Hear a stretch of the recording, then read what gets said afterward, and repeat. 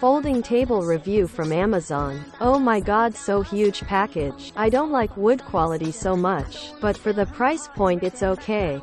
And it's heavy too. It's foldable table very easy for assemble. Best for corner and bedside stool for bedroom. You can decorate your corner with adding some flower pot or vase. Adding clip how I am using this to add some colors in corner. Looking so aesthetic I totally love this highly recommend to you.